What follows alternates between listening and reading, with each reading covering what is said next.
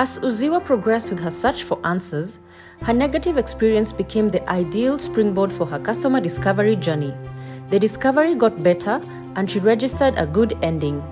She decided to make the best out of her experience at Bidhabora store by correcting all that she found negative in her newly opened store, Nunua. Her experience made her more enlightened and more conscious of who the customer is, their needs and expectations. More so, the needs of today's customer. Oh, how crucial it is for Nunua store to be sensitive about the customer's needs. Uziwa realizes the need to take the customer seriously stays at the top of her mind. However little or much an issue seems to be, it matters to the customer and the future of the business. More than ever before, Uziwa is determined to work towards connecting with the customer better by understanding them and differentiating the various types of customers and their needs in order to build lasting relationships.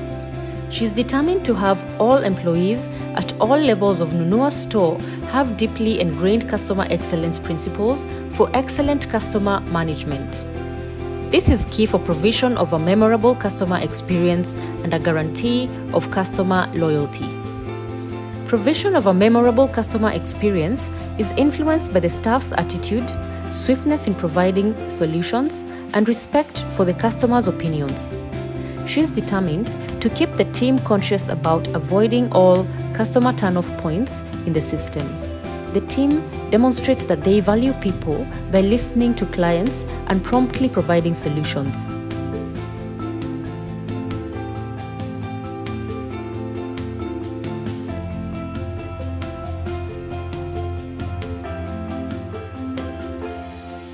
Fast forward to two years later, Bidhabora store clients now shop at Nunua store due to their excellent customer relation skills.